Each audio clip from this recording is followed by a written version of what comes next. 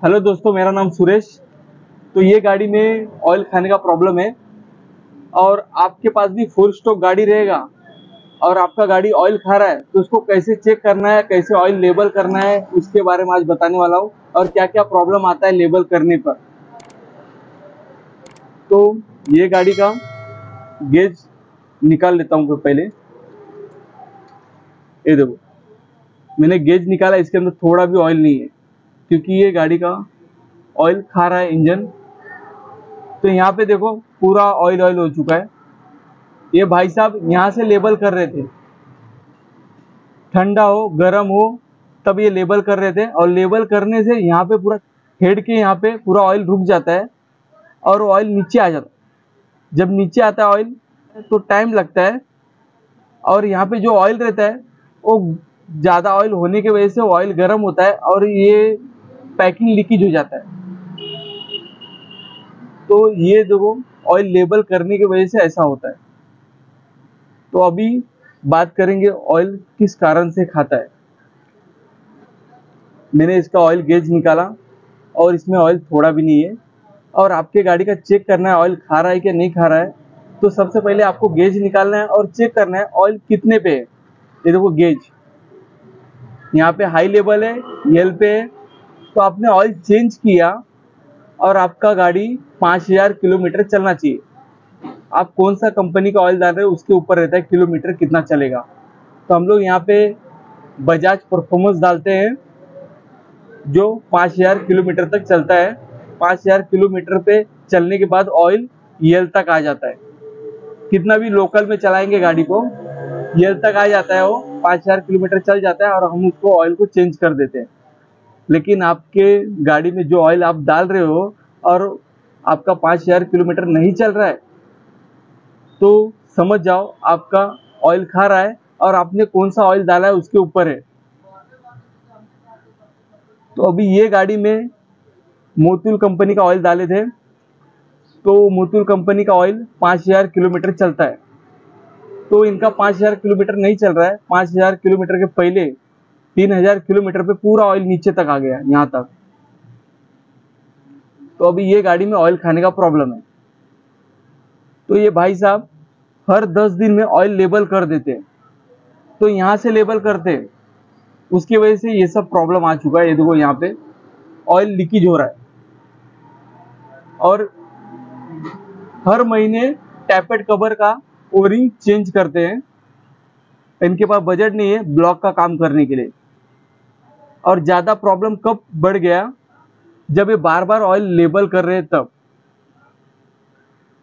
हर दस दिन में, पंद्रह दिन में टॉकअप कर रहे ऑयल को। तो इनका ऐसा प्रॉब्लम आ गया है। देखो, पूरा टाइपेड कवर के यहाँ पे पूरा ऑयल हो चुका है। अभी आपको ऑयल लेबल करना है, आप अच्छा कंपनी का ऑयल डाल रहे हो और आपको लेबल करना है ऑयल आपका खा रहा है तो यल और एच के बीच में ही लेबल करना है।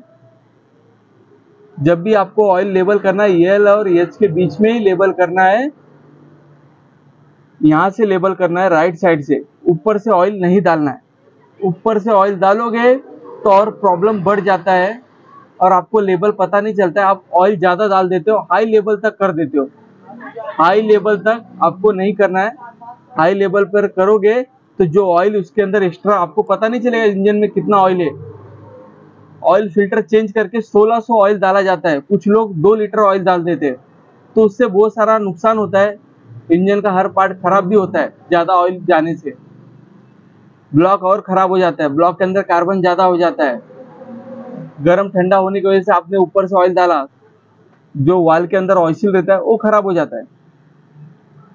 तो ये भाई साहब ज़्यादा भी ऑयल डाल देते हैं। उसकी वजह से ये सब टाइपेड कवर पे दिख रहा है। ऑयल हो चुका है और यहाँ पे भी ऑयल हो चुका है। देखो, यहाँ पे आप देख रहे हो, यहाँ पे भी ऑयल आया है। यहाँ पे ऑयल आने का मतलब आपका कार्बेटर से ऑयल जाएगा।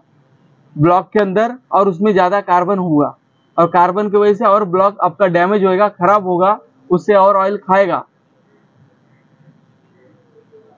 तो ऑयल यहाँ पे आने का कारण एक ही है, आपने ज़्यादा ऑयल डाला तो ऊपर आया।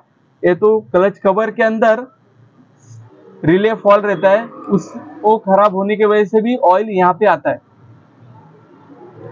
अभी आपने इंजन में ज़्यादा ऑयल डाल दिया हाई लेवल के ऊपर कर दिया है तो ये जो पाइप दिख रहा है एयर पाइप एयर पाइप से डायरेक्ट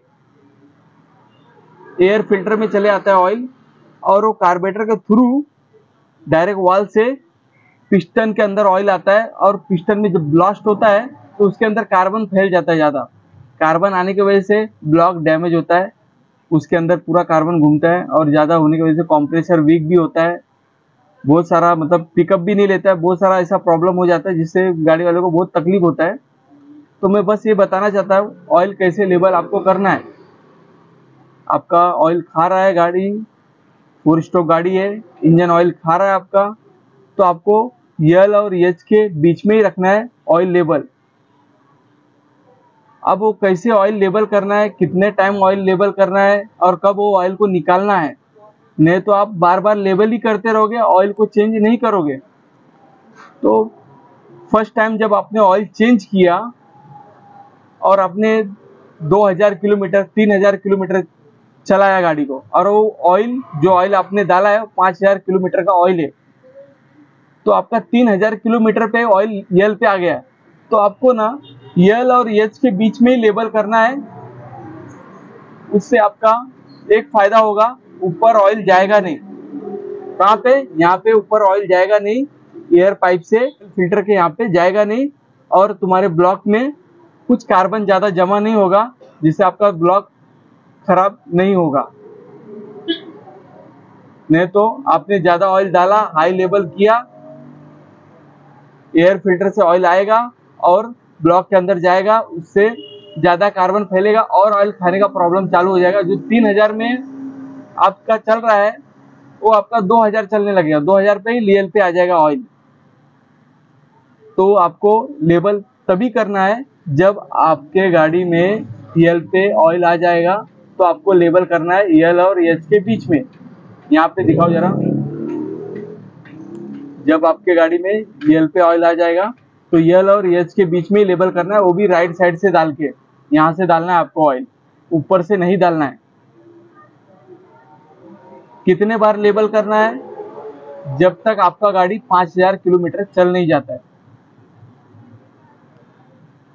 ठीक है? तो जब आपका गाड़ी 5000 किलोमीटर चल जाएगा तो ऑयल को आपको निकाल देना है। क्योंकि बार बार लेबल करोगे तो जो ऑयल है, वो गट हो जाएगा। उसकी वजह से आपका क्लच पेड भी खराब हो सकता है। बहुत सारा दिक्कत आएगा गाड़ी में। वो ऑयल काला होने के बाद आपका टाइमिंग चेन खराब करेगा। ऐसे बहुत सारा कारण है, जो मैं ये वीडियो में बहुत बड़ा करके नहीं बता सकता हूँ, क्योंकि वीडियो बहुत बड़ा हो जाएगा। तो आपको जब भी आपका ऑयल खा रहा है गाड़ी ऑयल खाने का प्रॉब्लम है तो आपको एच और एल के बीच में ही रखना है। और जो कंपनी का आप ऑयल यूज़ कर रहे हो, कितना किलोमीटर चलने वाला है, उसके हिसाब से आपको ऑयल को भी चेंज कर देना है। तो ऐसे बहुत सारे मैकेनिक है, वो सिर्फ़ बोलते हैं, आप लेबल करो लेबल करो लेबल करते करते इंजन पूरा एकदम खराब हो जाता है। जो ऑयल का जो गाइड रहता है, वो भी खराब हो जाता है। और ज़्यादा ऑयल डालने से फिर ऑयल खराब होता है गाइड खराब होता है, फिर वो मतलब हेड भी बदली करना पड़ता है। ऐसे बहुत सारे कारण आते हैं ऑयल लेबल में तो आपको मैं सही तरीके से बता दिया हूँ किस तरह से आपको करना है, उस तरह से आपको ऑयल लेबल करना है।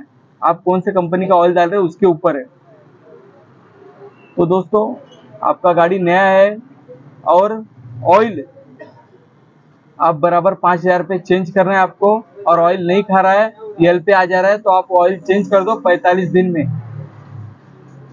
आपका पाँच हज़ार किलोमीटर चल जाता है पैंतालीस दिन में तो आपको ऑयल चेंज कर देना लेबल नहीं करना है।